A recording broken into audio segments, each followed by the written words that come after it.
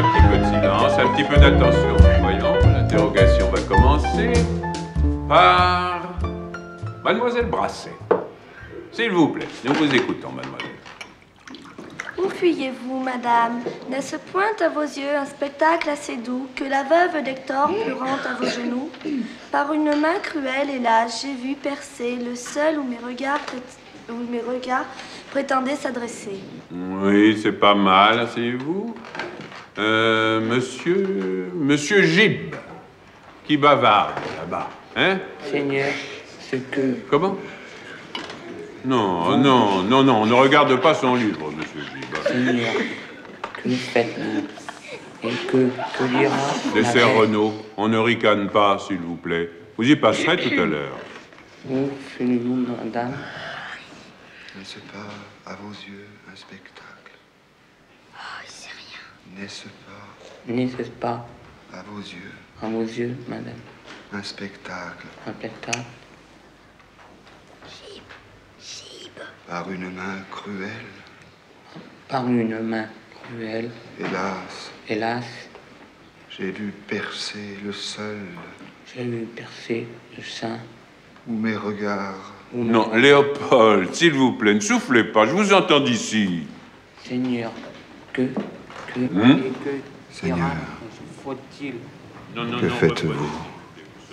Et que dira la Grèce Faut-il qu'un si grand cœur montre tant de faiblesse Voulez-vous qu'un dessin si beau, si généreux, passe pour le transport d'un esprit amoureux? J'arrive au palais de Pyrrhus. Vois Andromaque en pleurs et je lui dis euh, Passez-moi un Styanax, on va filer en douce.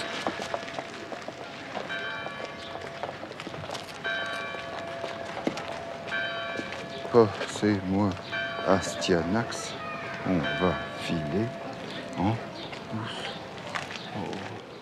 On va filer en douce Astyanax, on va filer en douce. T'es devenu fou. Mais qu'est-ce que t'as Ce que j'ai, je vais te le dire ce que j'ai. Je suis poète. hein. Parfaitement, je suis poète. hein. Passez-moi Astyanax, on va filer en douce. Ça, bien sûr, tu comprends rien, mais ça, c'est un vers. Ça s'appelle un vers. Et quand j'aurai trouvé le deuxième, eh ben j'en aurai deux. Et quand j'en aurai 30, quand j'en aurai 50, oh, oh, oh, oh.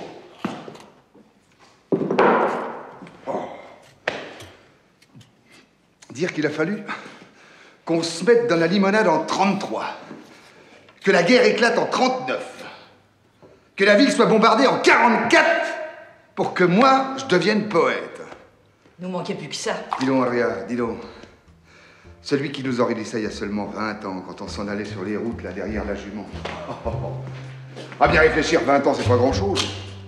Et pourtant, hein Dans ce temps-là, je pensais guère d'être un jour